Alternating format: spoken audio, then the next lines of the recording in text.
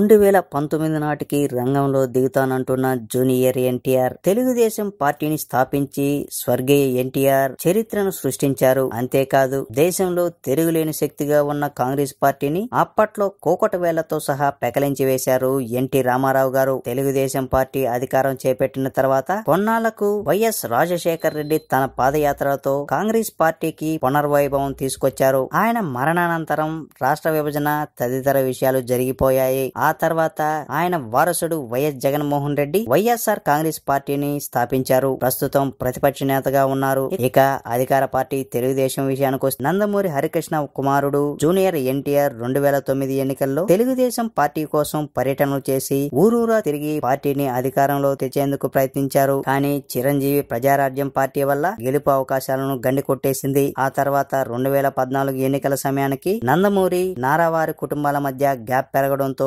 Junior NTR Telugu Desam ప్రచారానికి దూరం అయిపోయారు పవన్ సపోర్ట్తో తెలుగుదేశం అధికారంలోకి వచ్చింది. ఇక రెండు వేల పంతొమ్మిది అసెంబ్లీ ఎన్నికలు ఇప్పటి నుంచే కసరత్తు మొదలైంది. అధికార తెలుగుదేశం పార్టీకి ఈ ఎన్నికలు సవాల్గా మారుతున్నాయి. రెండు వేల పద్నాలుగు ఎన్నికల సమయంలో మద్దతు ఇచ్చిన పవన్ ఈ దఫా తెలుగుదేశం పార్టీకి మద్దతుగా నిలుస్తారో లేదో అన్న విషయం అనుమానంగా ఉంది. మరోవైపు నందమూరి హీరో జూనియర్ ఎన్టీఆర్ ఇప్పటికే తెలుగుదేశంతో అంటీ ముట్టనట్లు ఉంటున్నారు. పైగా జైలవకోశ చిత్రంలో జై క్యారెక్టర్ లో నటించిన ఎన్టీఆర్ డైలాగులు ప్రస్తుతం రాజకీయాలపై సెటైర్లు విసురుతూ ఉంటాయి. అధికారం కోసం తహతహలాడే పాత్రలో కనిపించారు ఆయన. అయితే ఈ చిత్రంలో జై క్యారెక్టర్ చూస్తే జూనియర్ ఎన్టీఆర్ త్వరలో రాజకీయ అరంగేటం చేస్తారా అనే అనుమానాలు కలగవచ్చును. మొత్తం మీద చూస్తే వచ్చే ఎన్నికల నాటికి జూనియర్ ఎన్టీఆర్ పోటీకి సిద్ధమవుతారో లేదో వేచి చూడాల్సిందే. ఈ వీడియో మీకు నచ్చినట్లయితే లైక్ చేసి షేర్ చేయండి. జూనియర్ ఎన్టీఆర్ రాజకీయాల్లోకి రావాలని ఆశిస్తున్నారా లేదా అనేది మీ అభిప్రాయాన్ని కామెంట్ రూపంలో తెలియచేయండి. ఇలాంటి మరిన్ని ఇంట్రెస్టింగ్ అప్డేట్స్ కోసం